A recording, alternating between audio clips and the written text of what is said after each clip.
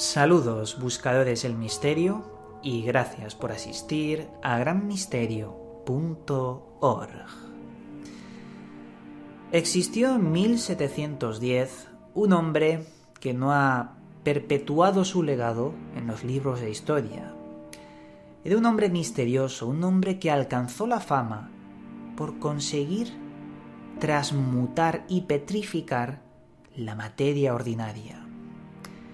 Este hombre se llamaba Raimondo di Sangro, más conocido como el príncipe de San Severo en Italia, y original de Nápoles estaba muy interesado por los secretos de la alquimia. Por tradición antigua, este hombre se convirtió en el gran maestro de la Orden de los Rosacruces y se puede considerar el mejor en la alquimia.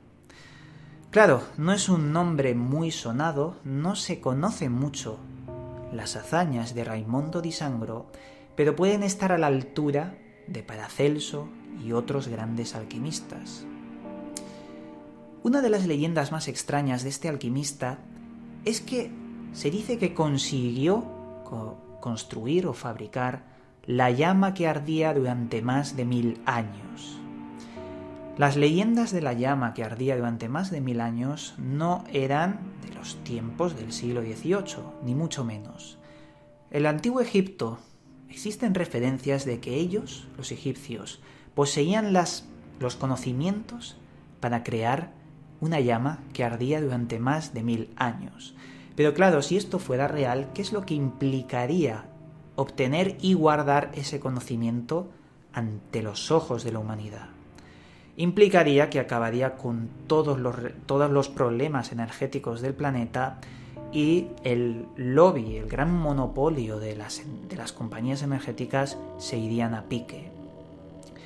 Pero esto es una leyenda, no está comprobado, no existen pruebas de la existencia de que Raimondo di Sangro consiguiera crear esa llama de los mil años. Aunque yo particularmente os digo una cosa, muchas veces los alquimistas juegan con la mente de las personas. Puede que la llama que arde mil años sea una metáfora, no exista como tal.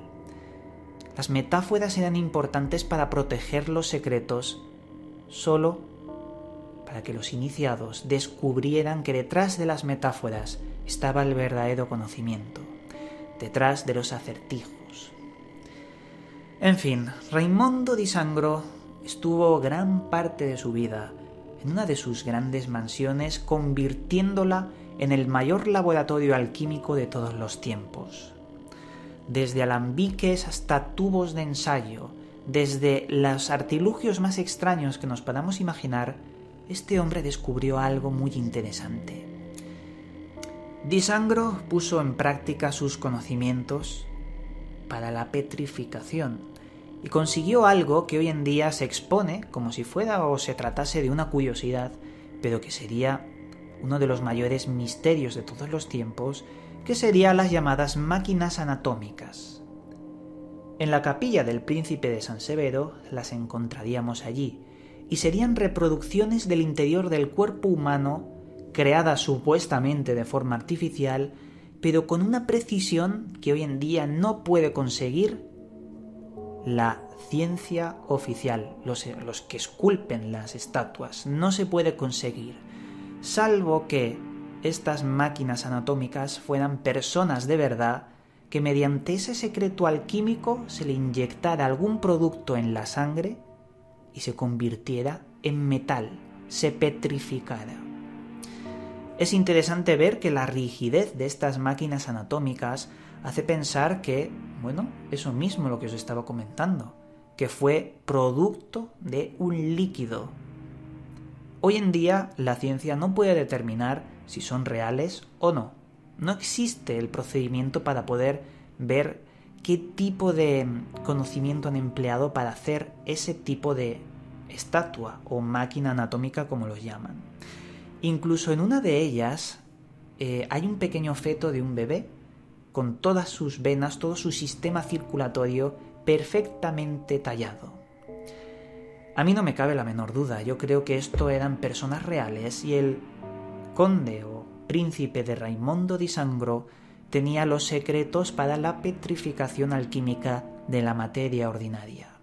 Lo interesante de todo esto es el cómo el conocimiento se esconde y sale a flote de vez en cuando en determinados puntos de la historia. El conocimiento para hacer eso hoy en día no lo tenemos. Sí que hay varias exposiciones de algo similar, pero os aseguro que comparándolas con las de la capilla del príncipe de San Severo no hay comparación, ya que las del siglo XVIII son mil veces más importantes, más difíciles de construir que las que hoy en día se están haciendo. De hecho, este Raimondo di Sangro estaba muy obsesionado por la estructura de la petrificación y tenía una serie de estatuas en su casa muy llamativas.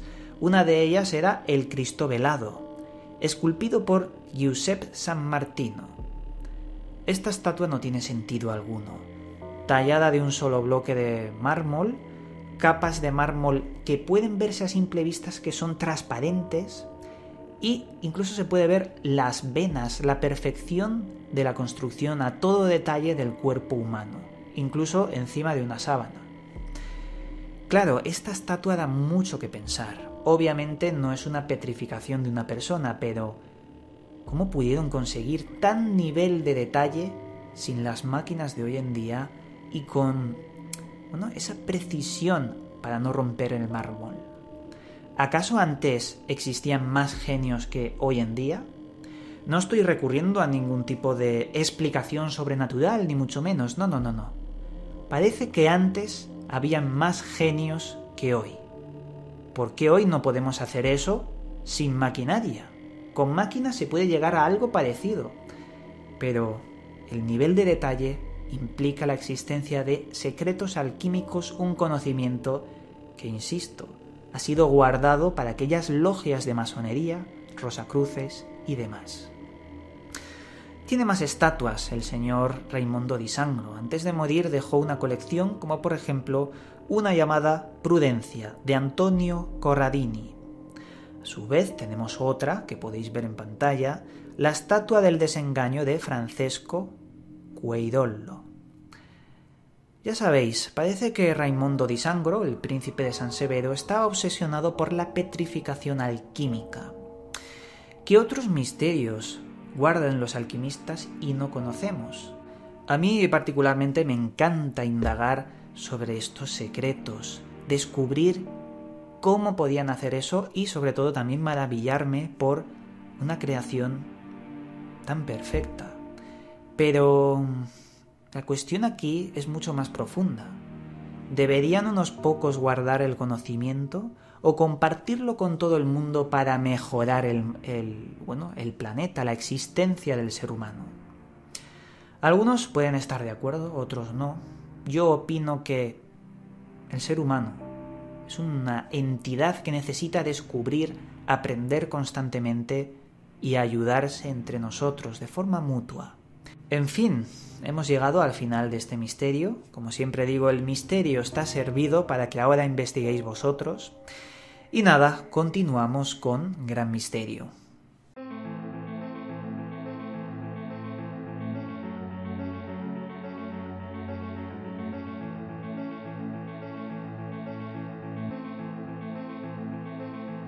Esta vez en la sección Libros recomendados os traigo el siguiente libro, el Código Shakespeare, escrito por Virginia Fellows. Este libro nos habla de una persona llamada Francis Bacon. Este hombre decidió esconder eh, información que era muy sensible en la época, secretos, en las obras de Shakespeare y en otras obras de otros autores. Cuando alguien en la antigüedad intentaba descubrir esos secretos, lo que le pasaba era que era perseguido, incluso asesinado. Nos habla, en definitiva, de códigos ocultos en la antigua literatura, también enfocada en Shakespeare, pero en otras sobre todo. Y nada, un libro entretenido y también muy interesante. Y con esto hemos llegado al final de este programa. Un programa en el que hemos ahondado sobre los secretos de la alquimia que, sobre todo con el tiempo, seguramente haremos más de este estilo. Espero de todo corazón que estéis muy bien, que sigáis en este camino del misterio y nos volveremos a ver en dos días con otro programa. Un abrazo a todos y hasta pronto.